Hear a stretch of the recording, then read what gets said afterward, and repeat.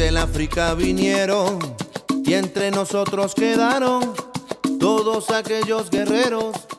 Estamos atravesando un año muy importante. Se cumplen 100 años de aquel proceso muy impactante, muy fuerte, que tuvo muchísima repercusión no solo en Córdoba, no solo en Argentina, sino en el resto del mundo, que ha pasado la historia con el nombre de la Reforma Universitaria. Un joven periodista y escritor cordobés, Juan Cruz Taborda Varela, escribió un libro que trata de romper algunos de esos mitos que se han sostenido a lo largo del tiempo en torno a lo que fue la reforma universitaria. Y en sus páginas, en las páginas de este libro, intenta mostrar aquello que efectivamente ocurrió en ese largo proceso de más de un año o alrededor de un año, que tuvo como epílogo justamente este triunfo de los postulados de los jóvenes reformistas que impactó no solo en el ámbito universitario, sino en la sociedad cordobesa toda.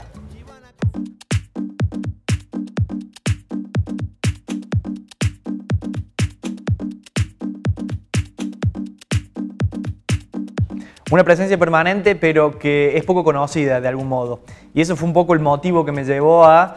plantearnos con el editor, el el jefe de Ediciones Recovecos, a ver cuál era el próximo libro después de que habíamos presentado la biografía política del hijo de Deodoro Roca, Gustavo Roca, hace dos años. Eh, cuando nos juntamos a, ver el balance de cómo había ido ese libro, que había habían dado muy bien, pensamos en qué se podía hacer para seguir contribuyendo al, mundo editorial de Córdoba y se venía los 100 años, eh, estábamos a un año y medio de eso y había que contribuir a esa disputa de sentido que iba a haber al fortalecimiento de la reforma como un hecho eminentemente cordobés y con proyección internacional. Había que contribuir. Fue el primer planteo. A ver, hay que eh, ayudar a que la reforma sea reivindicada como se debe. A partir de ahí comenzó una investigación que se inició primero con entrevistas a los pocos herederos, entre comillas, de lo que fueron los reformistas. Algunos hijos, algunos nietos, pero me di cuenta prontamente que cada cual contaba su propia reforma, su propia historia. Así que lo que hice fue meterme directamente en las fuentes de la época, en los diarios de la época, los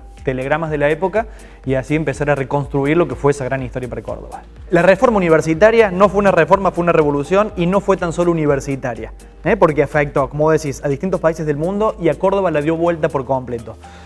es un proceso político que en estos 100 años, como pasa con todo proceso político, en estos 100 años se la ha tergiversado y cada cual la ha contado desde el lugar en donde se sentía más cómodo para contarlo. Y lo que ha pasado con la reforma universitaria es que se la ha despolitizado por completo. Se le ha quitado su intensidad política para dejarnos tan solo su perfil institucionalista, eh, los cambios reales que produjo puertas adentro de la universidad, desconociendo que fue una revolución para Córdoba, para la Córdoba de entonces que vivía en la Edad Media dominada por los preceptos de la Iglesia Católica y por los hombres laicos que la Iglesia Católica tenía en los distintos estamentos del poder en Córdoba. La reforma fue una revolución pero se la hizo, se la contó aburrida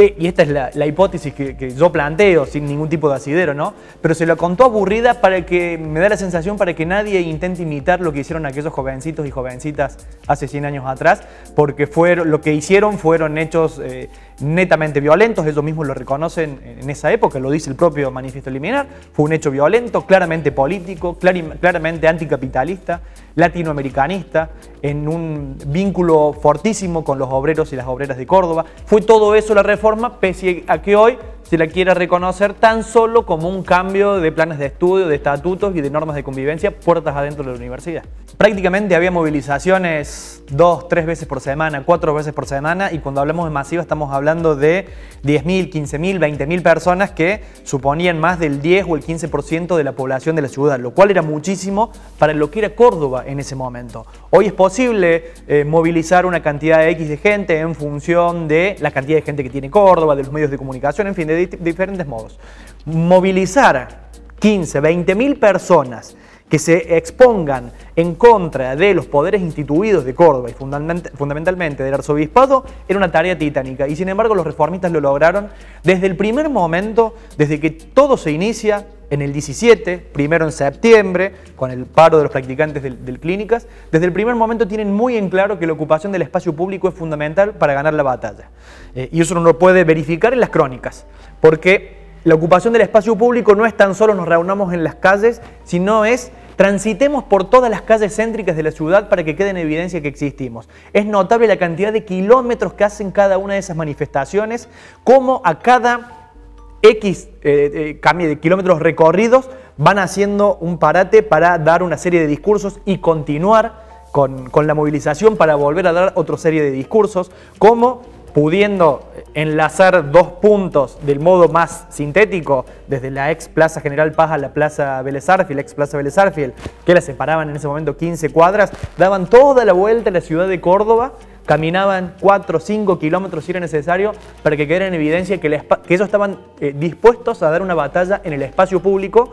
una batalla que puede ser literal, pero también fue efectivamente real, porque debieron enfrentarse a la policía, debieron enfrentarse a los hombres que enviaba la iglesia, y todo esto en conjunto con los obreros de Córdoba, que ya también estaban organizados. Hubo batallas cruentas en las calles de Córdoba, no estoy exagerando, hubo heridos de bala, hubo cientos y cientos de detenidos, todas las iglesias de la ciudad fueron destrozados, las iglesias de la ciudad, eh, eh, el diario Los Principios, todo lo que tenía que ver con esa Córdoba del medioevo que dominaba Córdoba. La reforma se inicia como un tímido y respetuoso pedido de cambios de estudio, de cambio de planes de estudio y cambio de estatutos.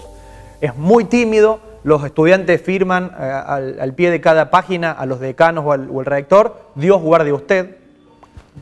Es, es, llamativo esto porque la reforma va a ser claramente anticlerical, se va a enfrentar directamente a esa idea de Dios. Y esto que comienza tímidamente, los propios obreros ya organizados en la Federación Obrera Regional de aquí de Córdoba, empiezan a entender que esos actores que están intentando modificar la universidad pueden ser pares, pares de equipo. Y son los propios, los propios obreros que empiezan a sumarse a las movilizaciones de los estudiantes y allí es muy son muy claras las crónicas del diario Los Principios cuando dicen, si los estudiantes reformistas están pidiendo una modificación de la universidad, ¿qué tienen que hacer los obreros, los niños y las mujeres? En esos términos los plantean porque la reforma se vuelve algo masivo y claramente popular muy popular. Y no solo que los obreros apoyan a los estudiantes en todas las movilizaciones, sino que hay un momento de julio, agosto del 18 en donde primero los obreros del calzado inician una huelga pidiendo el sábado de inglés, eh, pidiendo mejoras salariales, a la que se suman todos los trabajadores organizados de la ciudad de Córdoba y a esa huelga que supone también nuevos enfrentamientos callejeros,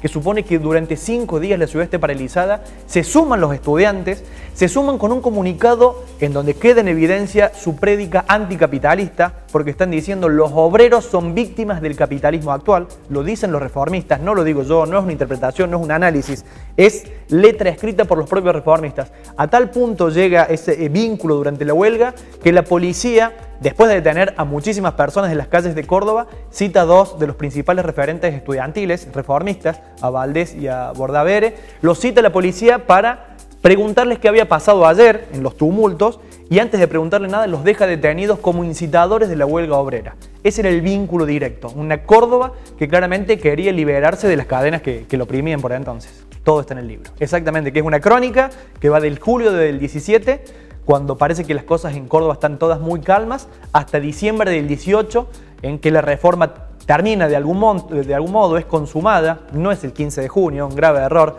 eh, tener la fecha de la victoria como el 15 de junio. El 15 de junio es una fecha de derrota. Eh, la victoria de la reforma va a llegar en septiembre y octubre, pero incluso después de septiembre y octubre van a seguir habiendo enfrentamientos entre reformistas y católicos, incluso a los tiros en la sede del arzobispado, con heridos de bala, con un hombre al borde de la muerte, como es el caso de Enrique Barros, que es eh, atacado en el hospital de clínicas. así que el, el libro sí, es una crónica que va contando día a día en tiempo presente lo que sucedió en ese acuerdo durante un año y medio. Tenemos varias presentaciones durante junio. Vamos a estar en el Carbó el 15 de junio, en Mendiolaza el sábado 16. Me siento un cantante de cuarteto. En Unquillo el 21 y a una gran presentación organizada por la Escuela Manuel Belgrano, el Club Belgrano, la Facultad de Filosofía, el Museo de la Reforma y Canal U el 27 de junio en el auditorio de la Escuela de Belgrano a las 6 de la tarde.